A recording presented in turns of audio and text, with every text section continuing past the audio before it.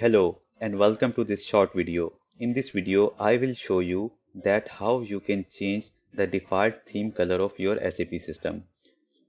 Click on the icon that you can see here and after that you click on options and here you go to the color settings and the default color is blue crystal. So uh, you can change it to any one of your choice. Uh, let's say I'm going to select the color as gold SAP BC gold and click apply. Here you can see the changes are applied once you start a new session or restart SAP logon pad. So if I'll click OK the color will not be changed unless I open a new session.